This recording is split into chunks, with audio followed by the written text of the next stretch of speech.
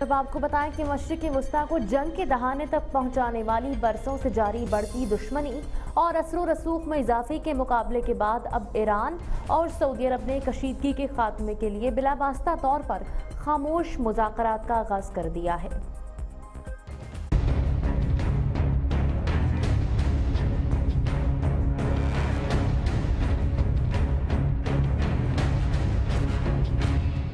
مشرق وسطی میں جنگ کے خطرات ٹل گئے۔ امریکی جی اخبار نیو یارک ٹائمز کی رپورٹ میں انکشاف کیا گیا ہے کہ چودہ ستمبر کے حملے کے بعد امریکی جی صدر ڈونلڈ ٹرمپ کی جانب سے ایران کے خلاف کارروائی سے انکار کے بعد بھی سعودی عرب نے مسئلہ حل کرنے کے لیے اپنی کوششیں شروع کر دیں اور ایران سے خاموش مذاکرات کا آغاز کر دیا۔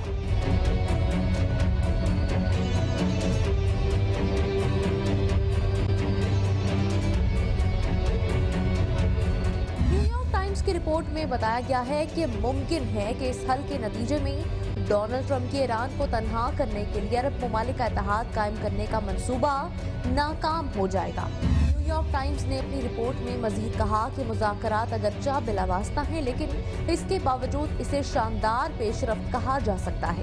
کیونکہ چند ہفتوں قبل ہی الزامات اور سخت بیانات کی شدید جنگ جاری تھی، جس کے بعد صورتحال تیزی سے بگڑتی نظر آئی۔ دونوں ملکوں کے درمیان مساحلت کے خطے بھر میں دورس مثبت اثرات مرتب ہوں گے۔